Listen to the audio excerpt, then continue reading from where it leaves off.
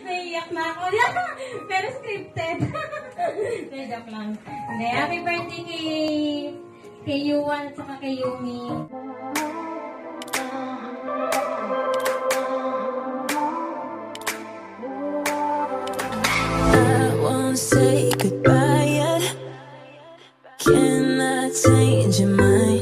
Hi everyone!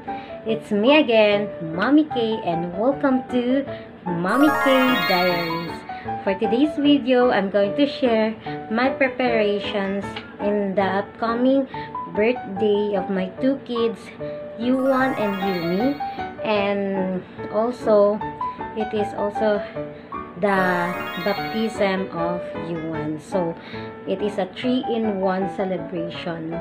So, our theme for the their birthday party is uh, Safari Jungle.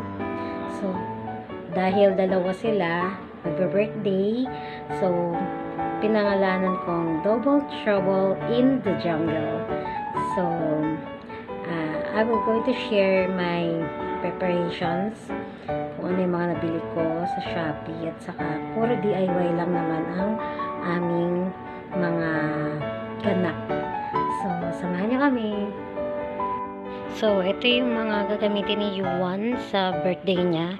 So, magsusuot siya ng safari guide na costume. Ayan.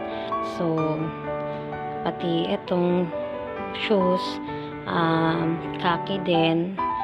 Tapos, nasuot niya na to nung kanyang uh, photoshoot. Tapos, ito yung susuotin ni Yuan sa kanyang uh, baptism. So, ewan ko lang kung kasya pa yung uh, ano. So, nabili ko to sa Shopee. Ililink ko na lang ang kanilang, or if a flash ang kanilang shop. Tapos, ito naman from Olivia Rayo. Ang kanyang shop ay um, Baby Dolls Couture. So marami, marami siyang, ah, actually nakita ko yung mga mga costumes na yun na suot ni Yellow Star. So sabi, nag-check ako ng page niya, sabi ko ang gaganda ng mga costumes. So ayun, nagbakasakali na meron safari guide, meron sila. So ayun. Tapos ito, sinuot na rin Yuan nung kanyang photoshoot. So,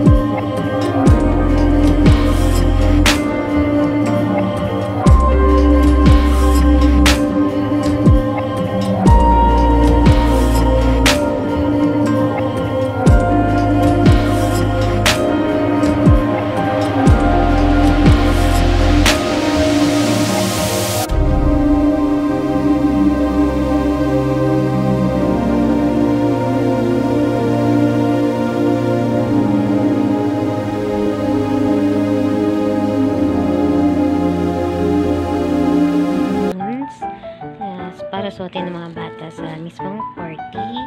Ayan, ito parang sheep or ram.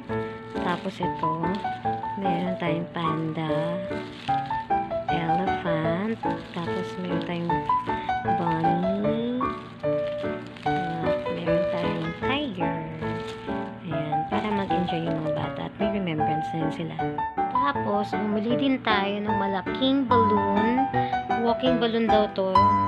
Try natin kapag na na na palawan na natin siya kung tumatayo ba talaga. Ito ay kangaroo. Then, meron din akong giraffe. Hindi ko pa siya natatanggal sa plastic. So, so in, in order ko siya sa Shopee, ililink ko na lang yung mga at or if a flash yung mga shop or link ng shop, ng shop dun sa description box. Bumili din ako ng light blue, pastel blue na um, ano tawag dito? Parang, ah, fo- 14. Yan.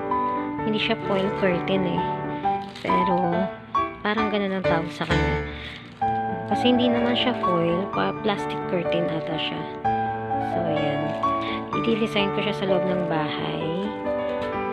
Tapos, lagyan ko ng mga balloons. Kasi, pre- ano, kasi baptism din. So, ah, lagyan ko ng konting touch ng parang ah, christening decor. So, yan. Yung dalawa to, yung isa kasi, ginamit na namin na decor for Christmas. So, pakita ko sa inyo kung ano itsura niya.